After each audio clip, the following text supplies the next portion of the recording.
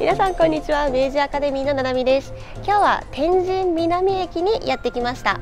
天神南駅は明治アカデミーから一番近い駅になります。今日はこの天神南駅から明治アカデミーまでの行き方を皆さんにご紹介したいと思います。さて天神南駅ですがこちらの地図をご覧ください。結構こんな感じで横に広い駅になっています。今私たちがいるのがここですね。ちょうど真ん中ら辺です。そこから右側に行くとこの前動画でも紹介した天神地下街につながっています。私たちの明治アカデミーは現在地から左側にありますので今日は早速この左側の方に進んでいってみたいと思います。では行きましょう。奥に6番っていうところが見えますか？あの6番出口が明治アカデミーから一番近い出口になります。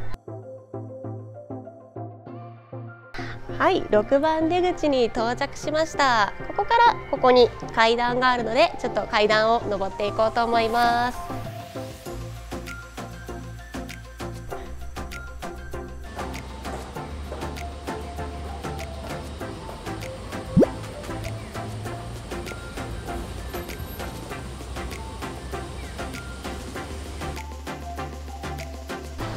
ここが天神1丁目のバス停です。ここも明治アカデミーの最寄り駅になるのでバスを降りるときは天神1丁目で降りてくださいね。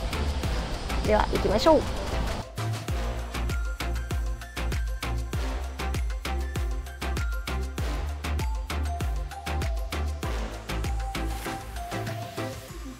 じゃーんここが米田コーヒーです。このコーヒーめちゃくちゃ美味しくて明治アカデミーの生徒もよく行ってる人気のカフェになります。皆さんはコーヒー好きですか？明治アカデミーに遊びに来たらぜひ日本のコーヒーも楽しんでみてください。うどん屋さんです。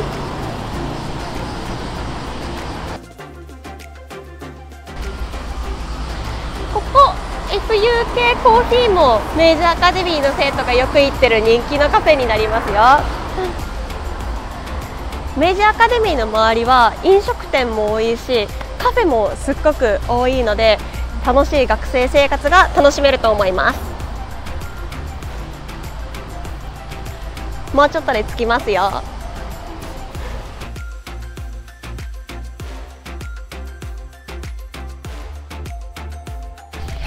じゃじゃーん明治アカデミーから一番近いコンビニセブンイレブンです。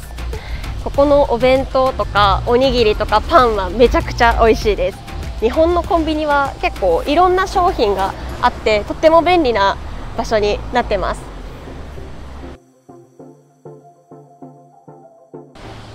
スーパーマーケットがあります。野菜とかがいっぱい売ってますね。お肉とかお魚も売ってます。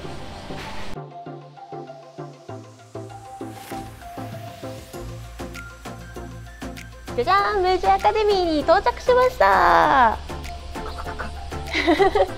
明治アカデミー到着しました。普段いつもここで私たちは日本語の授業とかいろんなイベントをやっているので福岡に来た際にはぜひ明治アカデミーにも遊びに来てください。